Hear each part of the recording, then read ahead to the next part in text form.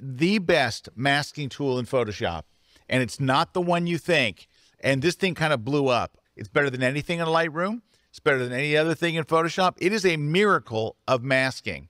All right, now you see Eric and I. Now, if you go to the tool menu, all right, over here to the tools, an actual tool, and then you go down here under your like magic wand and all that, and get the object selection tool.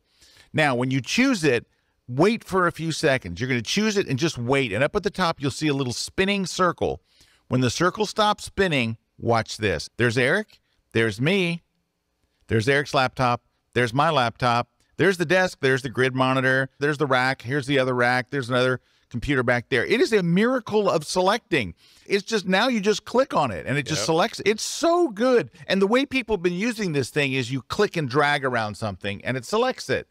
Click on the tool and just wait a couple of seconds and then you can go and choose whatever you want.